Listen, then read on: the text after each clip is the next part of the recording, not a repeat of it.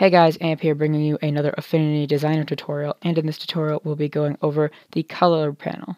Now the color panel is used to choose your color for whatever various shapes or tools you are using in Affinity Designer, and the color panel can operate in HSL, RGB, CMYK, or LAB color panels.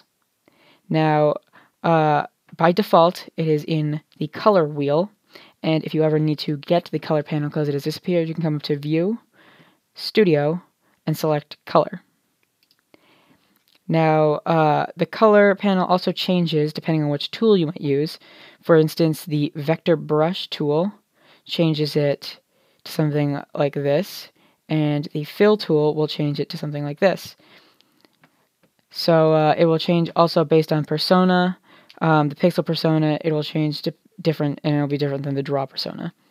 Um, so let's go over some of the tools inside of it. There is the None tool, which will make whatever uh, active selected layer none, have no color.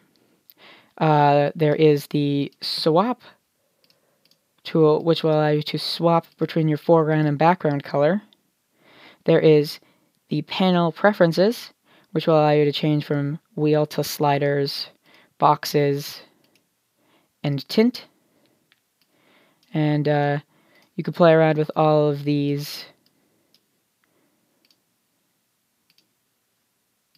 And some of them have different uh, color palettes that you can use. But in wheel, there's only uh, HSL.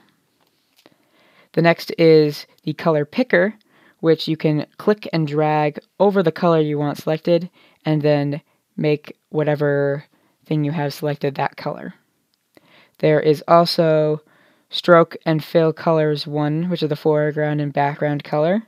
And down at the bottom, there is an opacity and noise slider. So right now it's on opacity, so we can shift the opacity up and down. And if you click the dot, it'll change to noise. And click back for opacity. And that is base, uh, all of the basics of the color panel. If you liked the video, give it a thumbs up and subscribe for more Affinity Designer and Affinity Photo tutorials. If you have any suggestions, leave them down in the comments below and uh, subscribe for more videos. Thanks.